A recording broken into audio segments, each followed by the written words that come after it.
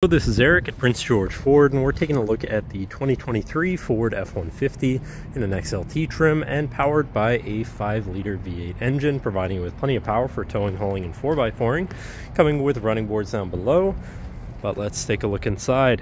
And looking into the back seat we have comfortable seating for three that can be lifted up and out of the way to accommodate any other cargo.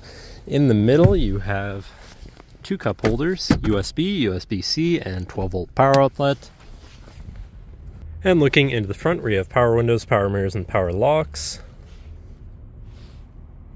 Now, sitting in the truck with it running and looking at the steering wheel on the right hand side, you have your controls for your center info screen here where you can cycle through your digital speedometer, uh, trip information, driver assistance features and settings, fuel economy, eco coach, calm screen.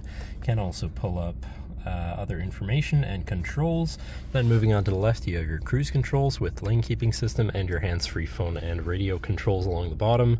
Moving on to your center, your infotainment screen, which is radio, Sirius, and Bluetooth capable. You have your Bluetooth phone controls, navigation, so you hopefully won't get lost, whatever apps you may have installed. Um, settings for your screen, and some other features around your vehicle, and your general truck features such as driver assistance, towing, and owner's manual. Shifting into reverse, you have a backup camera so you can see where you're going. Above that, you have your auto start stop shut off and your camera view again then your hazards and traction control shut off. Moving down, you have your media controls and then your climate controls with AC. To the left, you have your Pro Trailer backup controller, trailer brake controller, and 4x4 controls with a locking rear differential and drive mode selector for normal, slippery, deep snow sand, mud ruts, and then on the opposite end, you have tow haul, eco, and sport mode.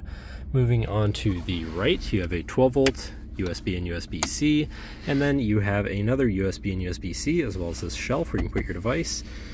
Um, then looking at your column shifter, which does have select shift, so you can manually shift through your gears, and onto your uh, center console area where you've got two cup holders, center compartment slash armrest with plenty of room inside. But then this does lift up and out of the way to become your fifth passenger seat and sixth seat overall, so plenty of seating in this truck with another lockable compartment underneath for even more storage.